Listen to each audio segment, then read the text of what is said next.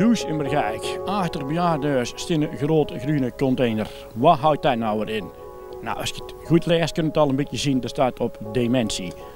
Deze container gaat over dementie, allerlei soorten van informatie. En daar gaan we nu in de komende reportage allemaal en alles over vertellen aan jullie.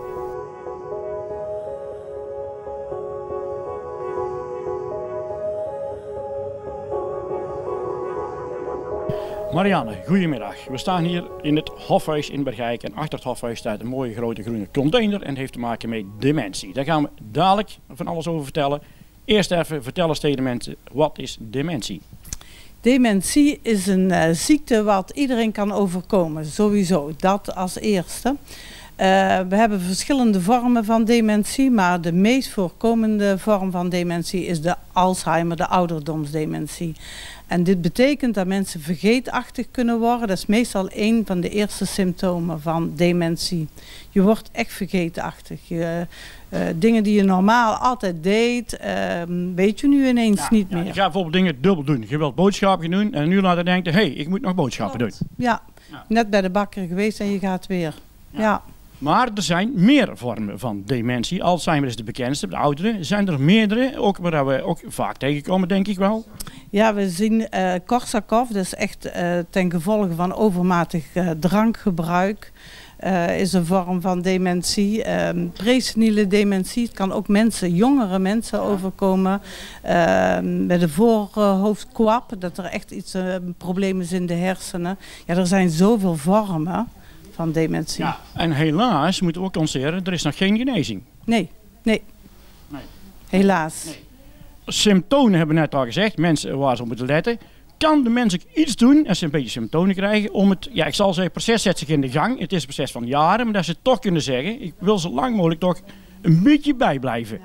Blijf actief. Actief eh, eh, met, met woorden, met eh, erbij horen. Trek je niet terug in je huiskamer en kom niet meer buiten. Dat is echt fout. Je moet prikkels blijven ontvangen. Ja. Nou ja, ik heb een een paar maanden terug Ruud gesproken, die zat met Parkinson. En door sporten werd zijn Parkinson beter. Klein beetje, in ieder geval het ging niet zo snel meer. Ja, is een, waarschijnlijk door de sport beter omgaan met het ziektebeeld. Ja, ook Parkinson is, is vaak gaat gepaard met dementie. Dus mensen, en vooral in bejaardenhuizen, ga inderdaad niet stilzitten. Kom achter die geraaien uit, ga eens een eindje wandelen. Ga eens met de fiets naar de kinderen, et cetera. Blijf vitaal. Gezond eten en bewegen. Heel, dat is heel belangrijk. Ja. Nou gebeurt het helaas toch bij heel veel mensen. Hulp is daarbij belangrijk. Daarom is hier de container, maar dat gaan we zo meteen nog een keer uitleggen, al gezegd. Waar kunnen de mensen nou het beste melden als ze denken, hé, hey, er is iets niet goed? Ja. Ga naar je huisarts, sowieso. Geen schaamte, doe het. Ga echt naar de huisarts.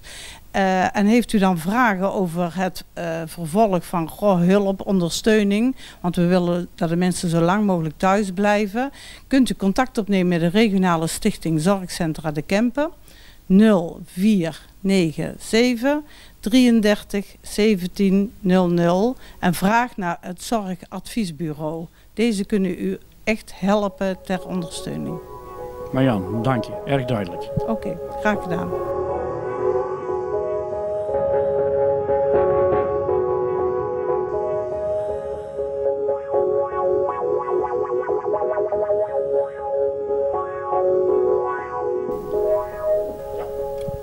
Er staat hier achteraf een groene container. Daar ben ik net al heel even in geweest. Dan gaan jullie een simulatie maken in die container hoe het is om te voelen hoe dementie is. Klopt, in de cabine kun je ervaren wat het is om dementie te hebben. En ik kom door de voordeur binnen in een woonhuis. En wat gebeurt er dan met me? Je krijgt een, eh, een halsband om eh, met jouw innerlijke stem, die van alles vertelt eh, wat je moet gaan doen. Ja, de, de, de, dus eigenlijk als iemand dementie heeft, die ervaart en dan laten jullie zo merken wat die in zijn hoofd eigenlijk allemaal ervaart. Daar gaat het dan eigenlijk over. Ja, je krijgt eh, opdrachten en die moet je gaan uitvoeren. En dan eh, wordt er wat verwarring gezaaid. Eh, wat iets, iemand met dementie dagelijks meemaakt, krijg jij dan ook mee. Ja, en voor wie is dat dan bedoeld? We hebben deze cabine je laten plaatsen voor zorgmedewerkers van RSZK, voor vrijwilligers, voor mantelzorgers en voor ondernemers. Dus als ik mijn demente vader of moeder verzorg, Dan zou ik me eigenlijk kunnen aanmelden en dan laten jullie mij merken hoe het is wat mijn vader of moeder ervaart dagelijks. Inmiddels zijn alle plaatsen bezet. Uh, er is geen, uh, geen ruimte meer voor uh, nieuwe aanmeldingen. Maar, maar in principe, daar is de bedoeling ervan. Klopt, ja. ja. Mensen van buitenaf ja, kunnen ervaren. Ja. Ja. ja. En vooral behulpzaam dus ook, en we zullen zeggen de mantelzorg, zeer zeker. Maar ik noem maar iemand de plaatselijke ondernemer, want die ziet die vrouw die kan voor de derde keer vandaag de brood halen. Ja, klopt. Uh, er uh, wordt verwacht dat ouderen steeds langer uh, thuis blijven wonen. En dus daarom krijgen ondernemers daar ook mee te maken dat mensen met dementie in de winkel komen en voor de derde keer op een dag een halfje wit komen halen. Of vergeten te betalen bij de kassa. Ehm, ja, of eens ineens ja, ja. gaan nou, maken. Nou, vergeten vertalen bij de kassa, dat doe ik ook wel zo. Dat is niet zo waar. Dat moet je in de mensen voor hebben volgens mij geweldig idee. Ik denk een heel goed initiatief. Waar komt het vandaan? Uh, het initiatief komt vanuit uh, de RZK. Uh, eh, de RZK heeft daarbij steun gezocht van de Rabobank de Kempen, van gemeente Begijk, het Sluiterman van Looffonds en het steunfonds van de RZK. En samen hebben we het mogelijk gemaakt dat de cabine deze week in Begijk staat. Ja, je staat deze week hele week nog hier. Klopt, ja. ja. Hartstikke fijn Karen, heel goed bezig zou ik zeggen. Help de mensen de wereld uit, hè? begin achter in Begijk. Zo is dat.